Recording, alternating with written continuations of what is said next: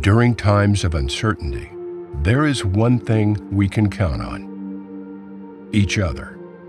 Here, in the heart of America, lies a community as unwavering as the cascading waters of the Big Sioux, where hard work and dedication reveal a visionary spirit of progress shared by all who call this place home. And when you visit, you can feel it.